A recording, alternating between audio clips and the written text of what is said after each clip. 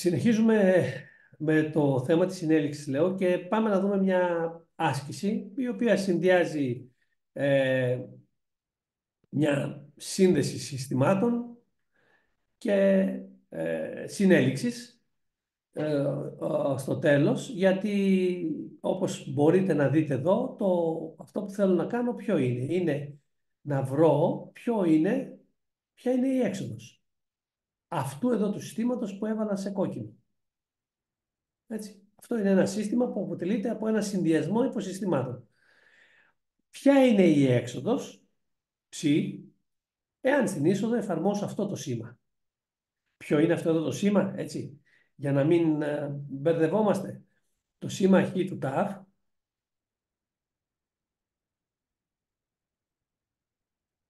είναι, βλέπω εδώ,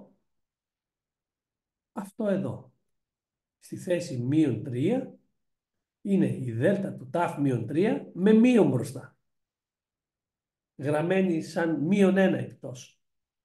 Και ο λόγος που έχει γραφτεί έτσι είναι γιατί σε κάποια στιγμή ήταν και θέμα αυτό και το μείον από μόνο του, αν έλεγε ότι είναι μείον δέλτα του ταφ μείον 3, μπορεί να μην το βλέπανε κάποιοι, να μην το καταλάβανε και δεν το κατάλαβα και την έλυσα αλλιώς την άσκηση, ενώ δεν είναι αυτός ο στόχος. Λοιπόν, όπως και να έχει. Τι παρατηρώ εδώ; Παρατηρώ ότι αυτά τα δύο συστήματα, το H1 και το H2, είναι συνδεδεμένα παράλληλα έρχονται εδώ και από το ένα αφαιρείται το άλλο. Προστίθεται το αντίθετό τους, αν λέμε. Και δίνουν ένα αποτέλεσμα, το οποίο αποτέλεσμα θα έρθει και θα συνδεθεί διαδοχικά σε σειρά με το H3. Άρα να πάρουμε βήμα προς βήμα, να υπολογίζουμε αυτό που, αυτό που, τα ισοδύναμα και να βρούμε το αποτέλεσμα. Ε, θυμηθείτε ότι εδώ γράφει ότι η H1 ισούται με U του ταφ 2. Η H2 είναι ίση με U του ταφ. Και η H3 είναι δέλτα του ταφ 2. Και θα τα χρησιμοποιήσω κατευθείαν αυτά. Δηλαδή η H1-2, ο συνδυασμός των δύο που είναι συνδεδεμένα αυτών των δύο, αυτά τα δύο είναι συνδεδεμένα σε σειρά. Ε, συγγνώμη, παράλληλα. Άρα προστίθενται τι βλέπω, είναι H2 μείον H1. Αλγευρική πρόσθεση εννοώ. Άρα είναι U του ταφ μείον U του ταφ μείον 2. Α, U του ταφ είναι αυτό. Το U του ταφ μείον 2 είναι το καθυστερημένο, είναι αυτό. Άρα το τελικό αποτέλεσμα είναι αυτό. Για να έχουμε και μια εικόνα και να δούμε πώς προχωράει. Το αποτέλεσμα που βγάλαμε από εδώ θα είναι ένα σύστημα το οποίο όπως βλέπετε συνδέεται σε σειρά με το H3. Σε σειρά σύνδεση σημαίνει ότι κάνω τη συνέλιξη των κρουστικών αποκρίσεων. Άρα κάνω συνέλιξη του H1-2 που βρήκα προηγουμένως με το H3, το οποίο H3 είναι δέλτα του ταφ 2, αλλά η συνέλιξη όπως είδαμε με την δέλτα, με την κρουστική, κάνει αυτό που έχω να έρθει και να καθίσει στη θέση που κάθεται η δέλτα. Δηλαδή στο ταφ 2, στη θέση 2. Συνεπώς παίρνει αυτό το σήμα, αυτό, και το μεταφέρει, αυτό εδώ το σήμα όπως ήταν, όπως βλέπετε και το μεταφέρει στη θέση 2. Από τη θέση 0 που ήταν στη θέση 2 εδώ. Και πάει μέχρι το 4. Έκανε μια ολίσθηση, μια καθυστέρηση. Η δέλτα ταφ 2 σημαίνει καθυστέρηση κατά δύο μονάδες χρόνου. Πάμε να δούμε και το τελικό. Το τελικό, το H του ταφ ισούται με... Να το δούμε γιατί ισούται.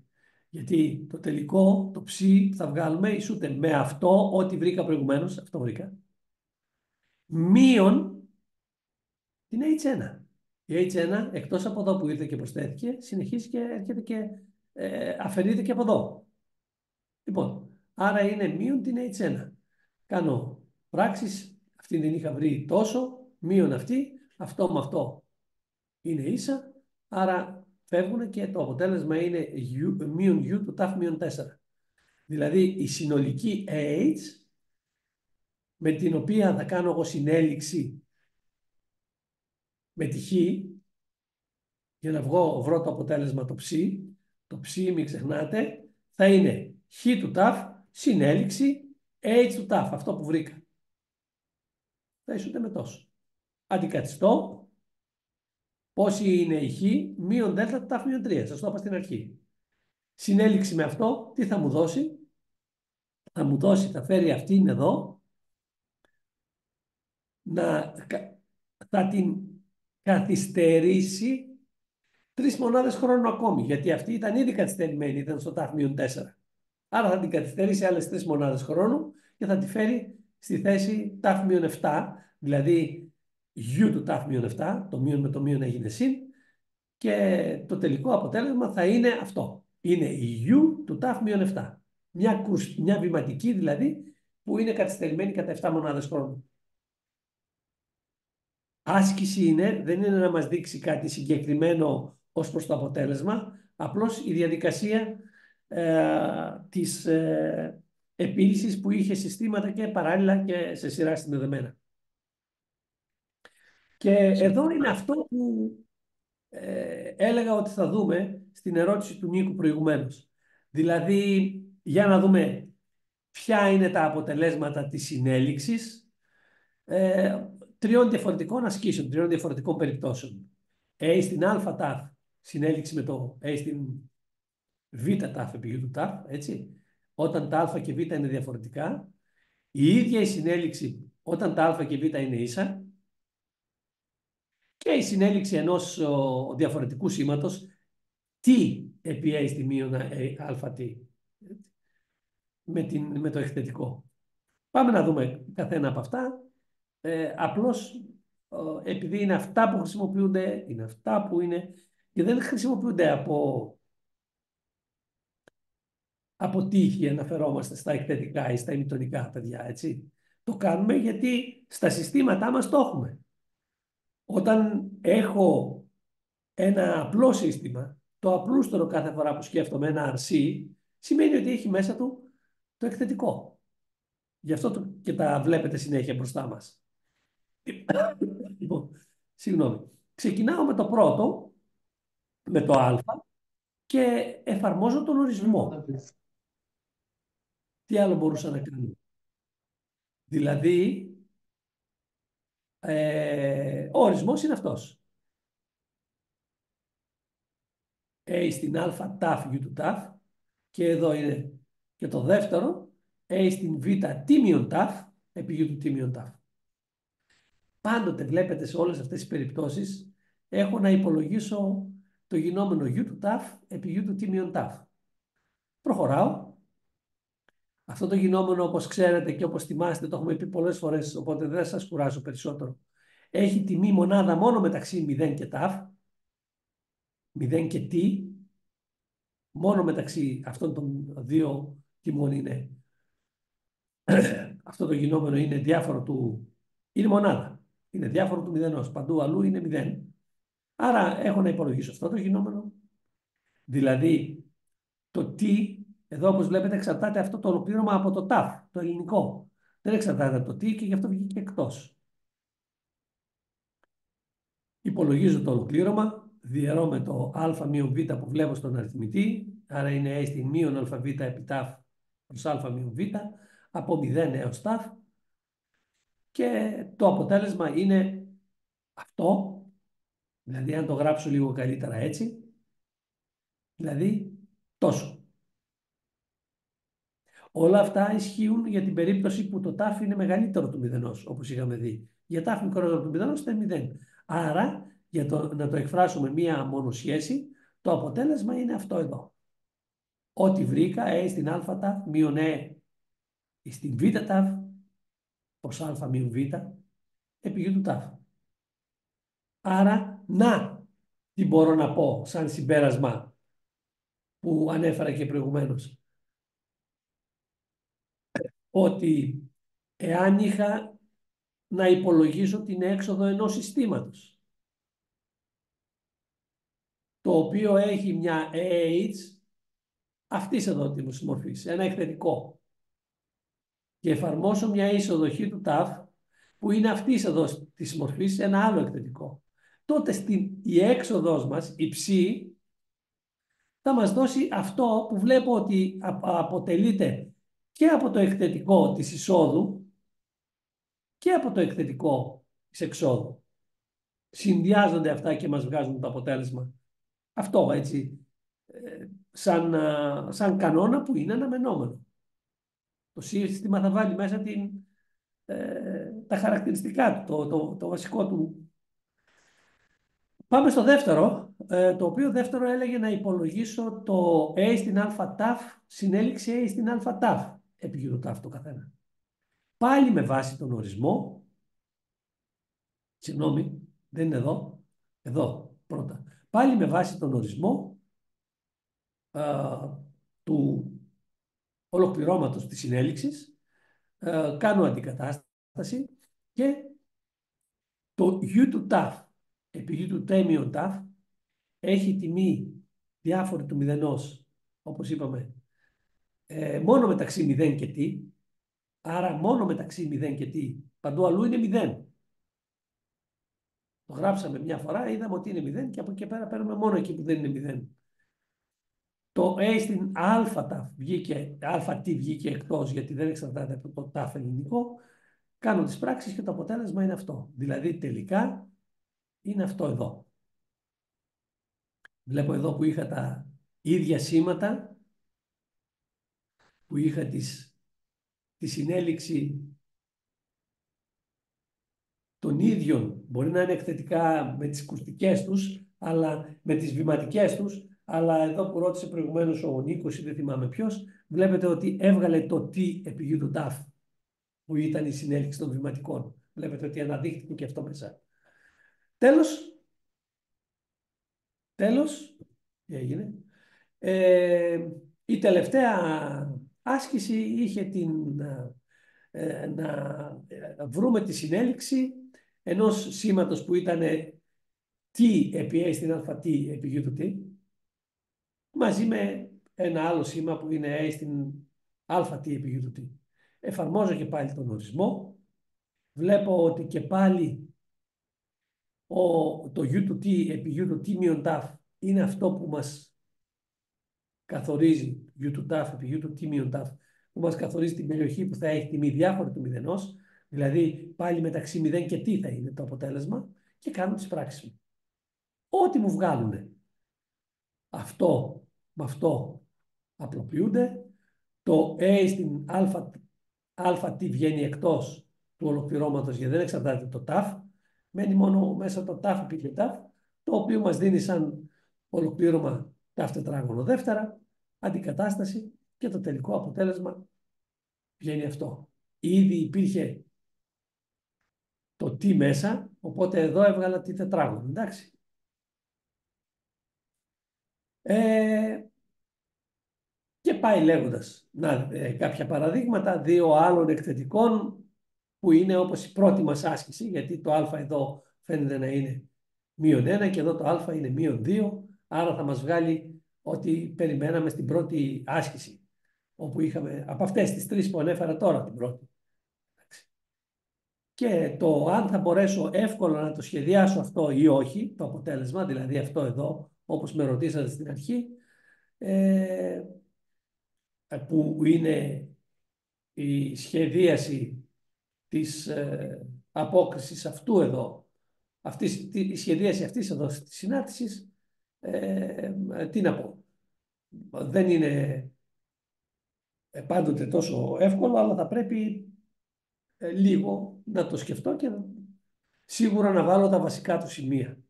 Για παράδειγμα, γιατί ίσον με μηδέν, εδώ αυτό είναι μονάδα και αυτό είναι μονάδα. Ένα μείον ένα, μηδέν. Άρα θα ξεκινάει από το μηδέν. Και μετά βλέπω ότι έχει μια μορφή η οποία δεν είναι εύκολο να σχεδιαστεί με το χέρι. Πρέπει να πάρεις πολλά σημεία ή πρέπει να το σκεφτείς διαφορετικά. Ε... Συνεχίζω. Και ο λόγος που έχω αυτή την άσκηση μέσα τώρα και που μοιάζει πάρα πολύ με αυτό που μόλις είπαμε, είναι ότι εδώ ο, δεν έχω u του t, έχω u του μείον t.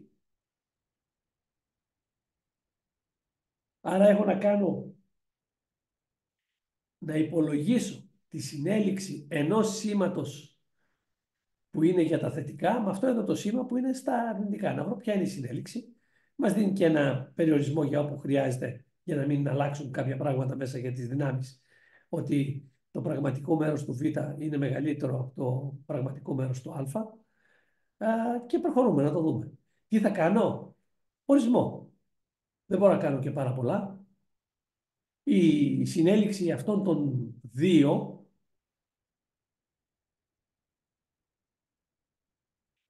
ισούται έτσι. Μπορεί να γραφτεί έτσι. Δηλαδή η συνέλιξη χ συνέλιξη h είναι ίσο με h συνέλιξη χ. Κύριε, γιατί να το γράψω έτσι; Ε, με βολεύει για την ώρα να το γράψω έτσι, γιατί αυτό εδώ όταν γράψω την σχέση, εδώ δίπλα όπως βλέπετε, είναι αυτό που θα, θα επηρεαστεί και θα γραφτεί σαν τίμιον τάφ. Ε, αυτό το έχω κάνει τώρα τόσες φορές, ξέρω ποιο είναι. Ξέρω να το υπολογίζω, δεν θα κάνω λάθος. Οπότε έρχομαι και το υπολογίζω με αυτόν εδώ τον τρόπο. Δηλαδή γράφω το σήμα μου αυτό το δεύτερο όπως είναι και ε, υπολογίζω αυτό. Και τώρα πρέπει να βρω το γινόμενο u του μείον t, μείον ταφ, επί u του t μείον ταφ, αυτό δεν το ξέρουμε, πρέπει να βρούμε τι, σε ποια περιοχή τιμών δεν μηδενίζεται. Εντάξει. Δηλαδή έχω να βρω αυτό εδώ το γινόμενο, αυτό εδώ το γινόμενο όπως το είπα με ένα γράμμα ρο του ταφ, οπότε δεν μηδενίζεται. Ε, εδώ το ολοκλήρωμα είναι συναρτήση του ταφ, άρα το A στη μείον α ταφ, α τι βγήκε εκτός και έχω να υπολογίσω αυτό εδώ το ολοκλήρωμα από μείον άπειρο ως άπειρο. Η ακριβής περιοχή που είναι διάφορο του μηδενός θα καθοριστεί από αυτό. Να πάρω να το υπολογίσω, από το ρο του ταφ. Το u του ταφ είναι αυτό, το u, το u του μείον ταφ είναι το καταπτρικό του, το u του τίμιον ταφ είναι αυτό που έχουμε πει, που ξέρουμε που ήταν από το ταφ, από το τι και μετά στα αρνητικά είναι που πηγαίνει. Εδώ δεν έχουμε πρόβλημα, το έχουμε κάνει πολλές φορές. Το αποτέλεσμα αυτό εδώ το έχουμε βρει πολλές φορές και είναι αυτό. Η U είναι αυτό, σημειωτέων, όταν το t είναι μεγαλύτερο από το μηδενός. Έτσι δεν έχουμε πει. Όταν το t είναι μικρότερο από το μηδενός θα το βρούμε, η δεύτερη περίπτωση. Όταν το t είναι μεγαλύτερο από το μηδενός είναι αυτό. Η u του μείον t που έχω για να βρω το γινόμενο ποια είναι; Αυτή. Αυτή όπως είναι δεν την έχω πειράξει, είναι κατοπτρική της. Πού τα δύο αυτά σήματα, το γινόμενο αυτών των δύο σημάτων αυτού και αυτού είναι διάφορο του μηδενός, μόνο μεταξύ ε, μείον άπειρο και μηδέν. Από το μείον άπειρο μέχρι το μηδέν. Μόνο εδώ είναι μονάδα ένα επί ένα. Παντού αλλού, στα θετικά εδώ, θα πολλαπλασιαστεί κάτι που είναι ένα, θα πολλαπλασιαστεί με μηδέν και θα μας δώσει μηδέν και γι' αυτό είναι έτσι. Άρα, να η πρώτη περίπτωση. Είναι αυτή εδώ, καθαρογράφω. Να έρθω αυτή την πρώτη περίπτωση να υπολογίσω ποιο είναι το αποτέλεσμα. Άρα από μείον άπειρο έως μηδέν η τιμή εκείνου είναι η μονάδα, έχω αυτό το ολοκλήρωμα συνεπώς, το υπολογίζω και έβγαλα ότι είναι τόσο. Τελείωσε. Δεύτερη περίπτωση πια, τι μικρότερο του μηδενός. Όταν το τι είναι μικρότερο του μηδενός, τότε το u του t μειον ταφ είναι εδώ. Φτάνει μέχρι όπου φτάνει το, το τι. Και εγώ πρέπει να το πολλαπλασιάσω με το u του μειον ταφ. Άρα τιμή διάφορη του μηδενός θα έχουν μέχρι αυτό το σημείο. Μέχρι το σημείο τι. Θα είναι διάφορο, θα είναι μονάδα το, το πλάτος. Εδώ είναι ένα το πλάτος. Παντού αλλού είναι μηδέν. Άρα έχω να υπολογίσω το ολοκλήρωμα από το μείον άπειρο μέχρι το τι. Και κάνω τις πράξεις μου με τον ίδιο ακριβώς τρόπο. Βλέπετε ότι είναι εύκολες οι πράξεις και καταλήγω σε αυτό το αποτέλεσμα. Άρα τελικά η συνέλιξη που έψαχνα να βρω ισούται με 1 προς β μειον α επί ε στην α επί γιου του συν ε στη β επί u του μείον τε. Αυτό ήταν. Αυτό uh, βρήκαμε. Ωραία. Τώρα, συνεχίζοντας την άσκηση και για να την ολοκληρώσω, λέω ότι θα μπορούσαμε να χρησιμοποιήσουμε τον ορισμό τον, τον αρχικό. Να μην τα, τα αλλάξω εγώ για ευκολία, όποια ευκολία και αν είναι. Δηλαδή, τι, όπως μου τα έδωσε τη συνέλιξη χ συνέλιξη h, πείτε, να το κρατήσω έτσι. Που σημαίνει ότι αυτό θα μείνει όταν γράψω το ολοκλήρωμα της συνέλιξης όπως είναι, αυτό εδώ θα γίνει όπου τι θα βάλω το μείον τι συντάφ. Συγγνώμη, όπου, όπου τι θα βάλω το τι μείον τάφ. Ωραία. Οπότε γίνεται έτσι. Άρα έχω να υπολογίσω αυτό εδώ το γινόμενο. Πόσο μου κάνει. Έστω αυτό το γινόμενο ότι είναι Q, το λέω. Και θέλουμε να βρούμε με τι ισούται αυτό. Προσέξτε, είναι U του τα, το ταφ που είναι θετικό, έτσι, η βηματική που ξέρω, και U του ταφ μείον T, που είναι η βηματική ε, ολιστημένη στη θέση T. Και ανάλογα αν το T είναι μικρότερο ή μεγαλύτερο του μηδενός, θα δούμε τι αποτέλεσμα έχουμε. Πρώτη περίπτωση, το t να είναι μεγαλύτερο του μηδενός. Άρα η u του t t είναι απλά αυτή, έτσι, δεν είναι κατοπτρική της. Αυτό το γινόμενο, αυτό το γινόμενο αυτή και επί αυτή, να το. Πότε είναι μονάδα, από το τι και μετά. Από εδώ και μετά. Άρα γιατί μεγαλύτερο, δηλαδή το ολοκλήρωμα θα πάει από τι μέχρι το άπειρο. Η δεύτερη περίπτωση, όταν το τάφ είναι μικρότερο, όταν το τι είναι μικρότερο του μηδενός, που σημαίνει το σήμα η U τι έχει προηγηθεί, προηγηθεί τώρα, προηγείται. Δεν έπεται, όπως εδώ δεν καθυστερεί, όπως εδώ, προηγείται. Πότε είναι το γινόμενο αυτό επί αυτό ε, μονάδα, αφού πρόκειται για βηματικές, είναι από το 0 και μετά. Από το 0 και μετά. Άρα το πρώτο ολοκλήρωμα θα το υπολογίσω από το t μέχρι το άπειρο και το άλλο από το 0 στο άπειρο. Συνεπώς, για την πρώτη περίπτωση θα βρω από το t μέχρι το άπειρο το ολοκλήρωμα. Και θα κάνω πράξεις. Οι ίδιες πράξεις όπως έκανα προηγουμένως. Εννοώ αντίστοιχες πράξεις και καταλήγω σε αυτό εδώ το αποτέλεσμα. Αυτό είναι για τάφ μεγαλύτερο του μηδενός. Για τάφ, γιατί μικρότερο του μηδενός, είπαμε από το 0 έως το άπειρο θα βρω το ολοκλήρωμα. Πριν από το 0 είναι 0. Και βγάζω αυτό.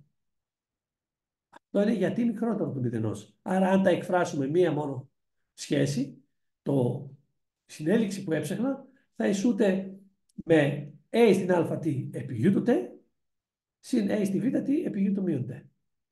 Και όλο αυτό προς β μείον α. Από άποψη δυσκολίας αυτή η άσκηση, τώρα πλέον που βλέπω ότι εξοικειωνόμαστε, ε, δεν έχει κάτι το ιδιαίτερο από τη στιγμή που ξέρω να βρω εγώ το κατοπτρικό από τη στιγμή που ξέρω να, βρω, να βρίσκω το u του t μειον ταφ ή το u του ταφ μειον t, εντάξει, και να τα γράφω σωστά,